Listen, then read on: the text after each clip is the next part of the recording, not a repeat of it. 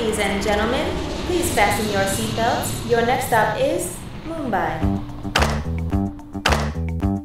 Now that's on.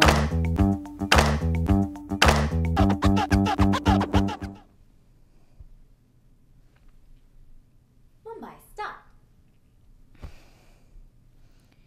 Okay, so brown people have this thing. When brown people meet other brown people, they automatically become your family. Uh, You could be a complete stranger, but just because you're brown, you have some unsaid link in your blood.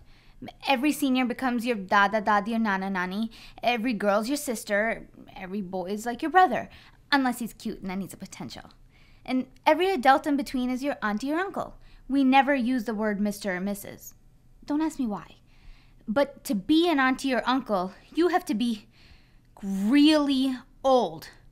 I'm talking like 35 plus. Y- You don't just throw the word auntie or uncle around, you know what I mean? It's just uncouth. So, you don't think I look old, right? No, right?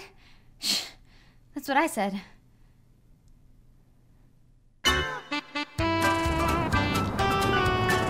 Did you have a good time? It was the best party ever. Awesome. Oh, M, so cute. It was his birthday. He had a superhero party. That's so um. Let me guess. You're Superman, No, Spider-Man, no, Batman. no, I'm Harry Potter. Oh, okay. So I guess I have to give you a birthday present then. Uh, Let me see. Well, uh, it's a- a little bit used, but my friend left it at my house. It's Le Male by Gaultier. All the girls are gonna come running after you. It works like magic. Say thank you. Thanks, Auntie. What did he just say? Calm down, Mumbai. Calm down. Wh- what did he just call me? It's reasons like this why kids should be put on leashes, and you can put a muzzle on them while you're at it.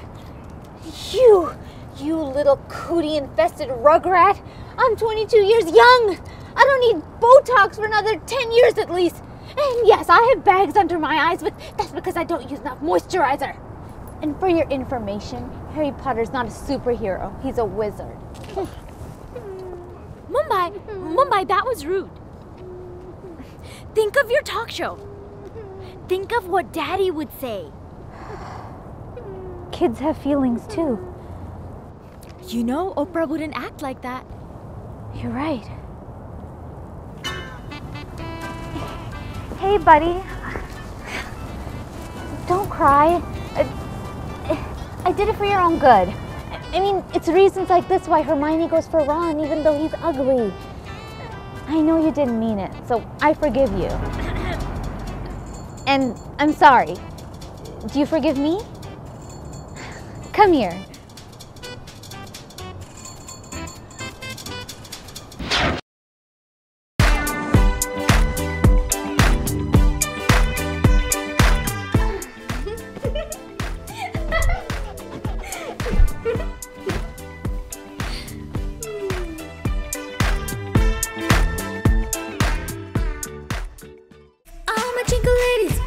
Jingle ladies, all my jingle ladies, all my jingle ladies, all my jingle ladies. Now put your hands up.